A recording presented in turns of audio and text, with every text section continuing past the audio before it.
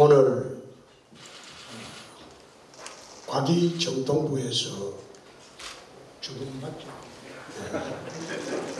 네. 내려오셔서 발표하는 이 어, 디지털 어, 혁신 비전 선보식은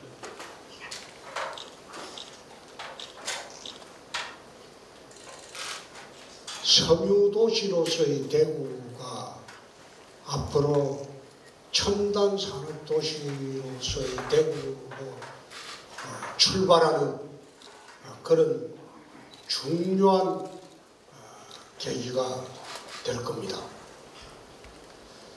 우리 대구는 섬유도시로 성장을 했고 섬유가 쇠퇴하기 시작하면서 몰락의 길을 걸어왔습니다.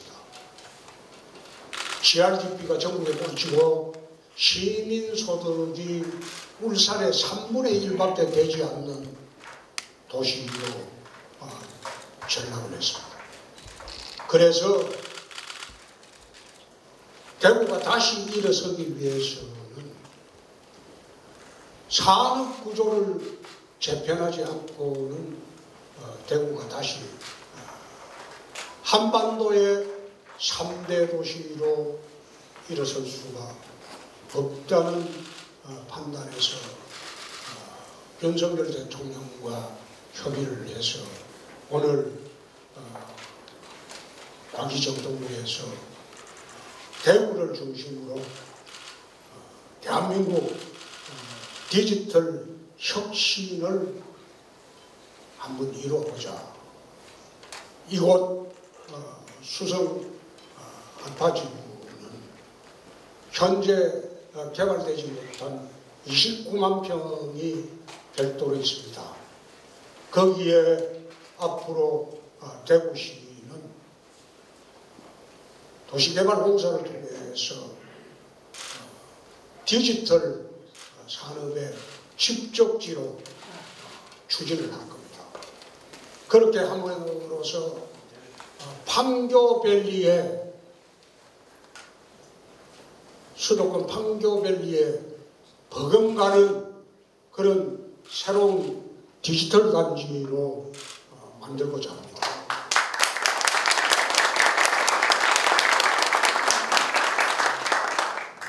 이렇게 대구의 산업 구조를 어, 개편하는 그런 출발점을 마련해 주신 윤석열 대통령과 과기부 어, 이종호 장관 예, 그리고 우리 저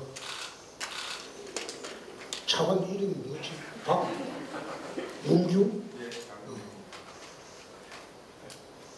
내 후배입니다. 예, 저하고 비슷하게 고집이 아주 세대요. 그래서 어, 오늘 차관님 모셔가지고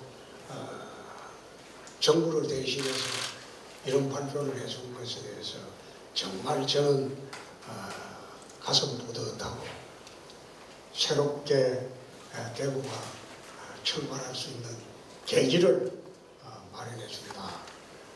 그래서 감사할 따름입니다.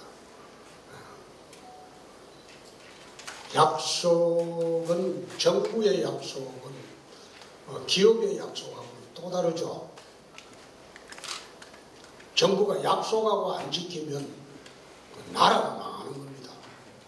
오늘 2조 2천억 규모의 어, 대구 어, 디지털 혁신 어, 계획을 차관님이 지금 바로 발표할 거죠.